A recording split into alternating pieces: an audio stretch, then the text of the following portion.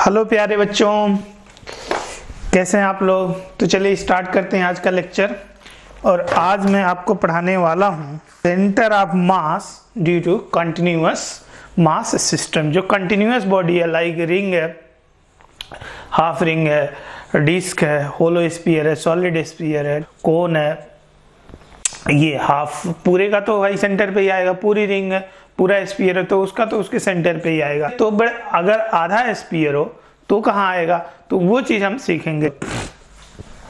तो centre mass continuous body का कैसे लिखते हैं, पहले उसको एक बार हम लोग समझ लेते हैं कि फार्मूला क्या है और कॉन्सेप्ट कैसे काम करेंगे। जो डिस्क्रीट था position vector of centre of mass discrete particle का क्या था? Position vector of centre of mass R vector था। क्या था? M one vector R one plus M two ठीक है R two and dot dot dot divided by summation of mass या यूँ कहो कि sigma sigma M I R I divided by sigma M I I is equal to one to N जितने भी particle हैं वो सबको हम जो जोड़ देते थे। पर अगर कॉन्टिन्यूस मास हो गया टिमा जो है, वो अलग अलग पार्टिकल को जोड़ रहा था। तो कंटिन्यूअस मास हो गया पार्टिकल बहुत पास हो गए। बहुत पास हो गए तो फिर जोड़ने के लिए मैं क्या यूज़ करता हूँ मैथमेटिक्स में? तो बहुत पास यूज़ हो गए तो जोड़ने के लिए मैं यूज़ करता हूँ इंटीग्रेशन सिग्मा और जो मास है, उसके मैं अब ऐसे नहीं जोड़ूँगा ना, बहुत पासेस है मास तो मास के पीसेस करूँगा, टुकड़े करूँगा यार, और जितना ज़्यादा टुकड़ा होता है, उतना ज़्यादा एक्यूरेसी बढ़ती है। ये मास डीएम और multiplied by R and integration of DM अगर किसी बॉडी के पूरे मास को छोटे छोटे पीसेस करके दोबारा जोड़ोगे तो मैथमेटिक्स के अकॉर्डिंग वो टोटल मास ही आ जाएगा यार। ठीक है इंटीग्रेशन ऑफ़ डीएम और आर तो ये बात तो आपको समझ में आ गया होगा कि ये डिस्क्रीट पार्टिकल तक था अब इधर जो है वो कंटिन्यूस मास इसके लिए लगेगा। मतलब हमारा फार्मूला चेंज हो गया।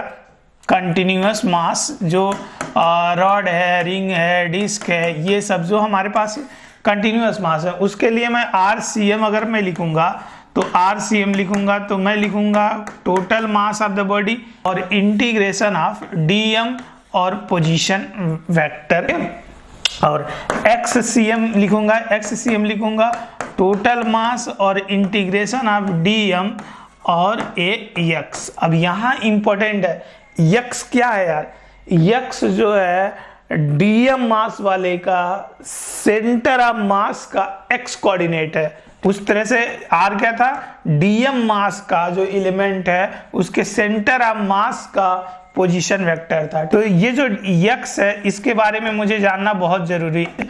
X coordinate x coordinate x coordinate of centre of mass of dm element जो आप डीएम इलेमेंट लिए हो, उस डीएम इलेमेंट के सेंटर ऑफ़ मास का एक्स कोऑर्डिनेट है।